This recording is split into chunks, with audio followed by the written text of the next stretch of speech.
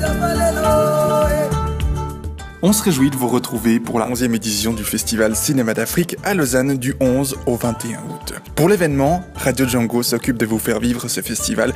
Nous allons notamment parler des films, bien sûr, mais nous irons également à la rencontre des réalisateurs et des critiques. Nous allons aussi nous interroger sur les grandes thématiques qui occupent actuellement les productions cinématographiques africaines. Le Festival Cinéma d'Afrique, c'est 4 jours d'émissions que nous allons vous proposer du 18 au 21 août entre 18h et 21h et dimanche entre 15 et 18h. Des émissions à écouter sur radio.django.fm et à réécouter sur notre site www.django.fm. Toute l'équipe à mes côtés se réjouit de vous faire vivre cette nouvelle édition du Festival Cinéma d'Afrique sous le chapiteau à l'esplanade de Montbenon à Lausanne. Le Festival Cinéma d'Afrique sur Radio Django.